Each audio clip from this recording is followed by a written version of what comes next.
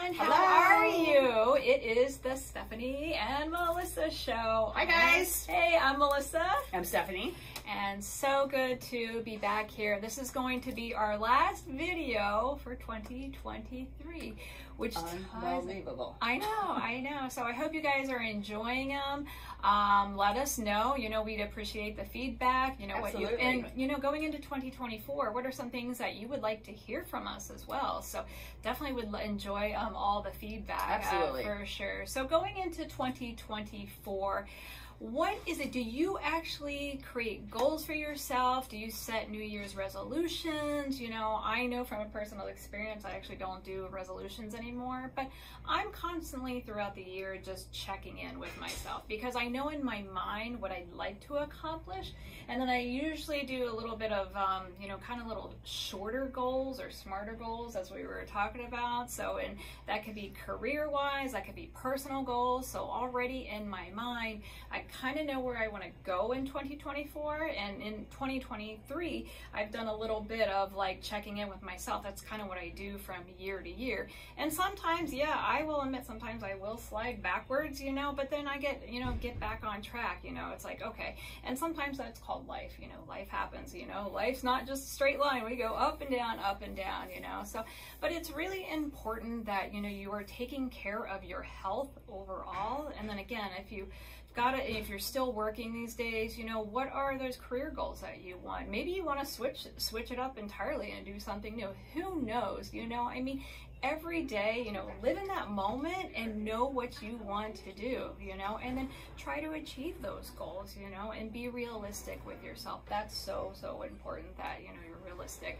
as far as achieving those goals because that can if when you're not realistic then you can really take that dive going backwards. And so we really want to keep going forward you know and then enjoy life right? So Absolutely. you know it's just a setting those goals. What do you want out of life and whether it's personal career or whatever it is you know enjoy it and just keep moving forward and if something you know slides off track what happened to get back on track and or what happened and then get back on track Reset. right Reset. yes Um, reset I think it's important to write down your goals because if we keep them inside, it's it's easy to forget.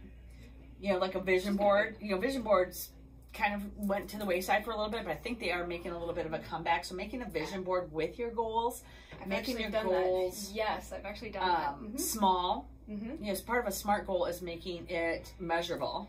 and it's and it's fun actually it's very fun Um, to make the vision boards I yeah. doing that yeah So one of the things that you know, of course, everybody's New Year's Eve resolutions. Two things.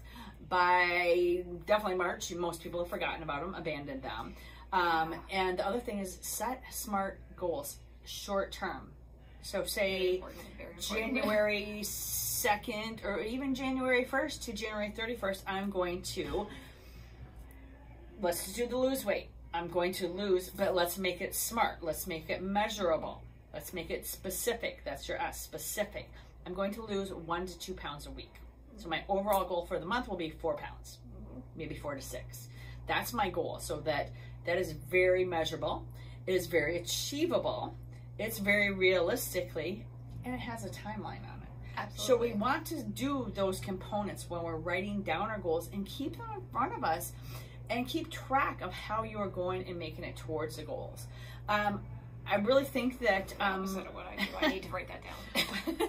I really think that that um, having something in front of you in order to write this down um, is a really good thing. And I do know I do have a document on how to create a smart goal, and um, maybe we'll put a link in, in here or Yeah. onto the YouTube channel or something on how that um, you can get a copy of this document and how to set a smart goal. And it doesn't have to be June, January.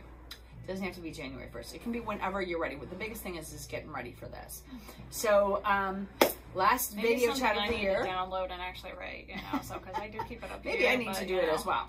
But um, happy New Year, everybody! Everybody be healthy, safe, Absolutely. and happy through um, the rest of 2023, and let's carry that into 2024. Yes, and also keep up with your goals. Yes. your goals all the way through, all the way through. Yes, reset as needed. 2024. Re- Yes, re-engage, yes, reset yes. all the time. Happy New Year to Happy you New guys, Year, guys. and enjoy. See you in January. See you next year. Bye. Bye.